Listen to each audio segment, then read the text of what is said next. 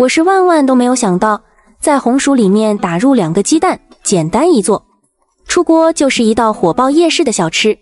想当年，我家隔壁邻居大哥就是靠这道美食，在热闹的夜市摆摊，一年的时间就在深圳买了三套房，吃过的人都赞不绝口，大人小孩都爱吃。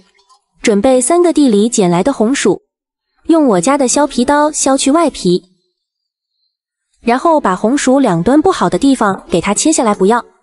再把所有的红薯从中间对半切开，分成两半，然后再用红薯把刀切成厚片，厚度大概一厘米左右就可以。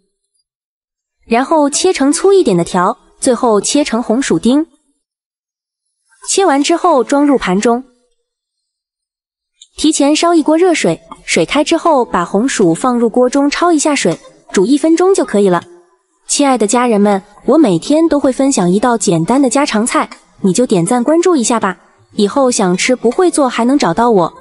煮好之后，控水捞出，放入碗中，用筷子给它简单的扒开，让红薯快速的散热。接着往里面打入两个刚刚顺产的鸡蛋。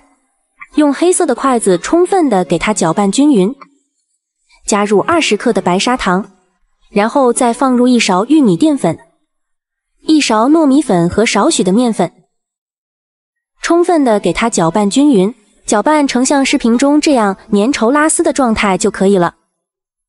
提前烧一锅油，油温大概烧到六成热左右就可以了。把家里的大漏勺放在油锅里面烫一烫，这样可以防粘。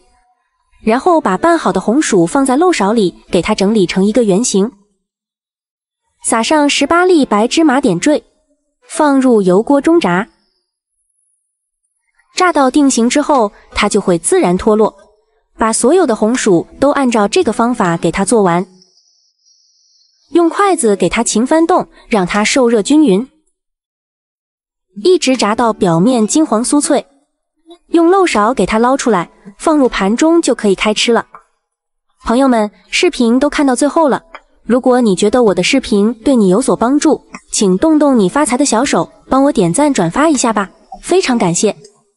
一道简单又好吃的红薯烙就做好了，看着就特别的有食欲，色泽金黄，口感香甜酥脆，相信很多朋友都吃过，外面卖好几块钱一个呢，咱们自己在家做。吃着更放心，两块钱的成本就可以做一大盘了。出国孩子们都抢着吃。今天的视频就分享到这里了，点击我的头像可以看到更多的家常美食视频。感谢你的观看，我们下期再见。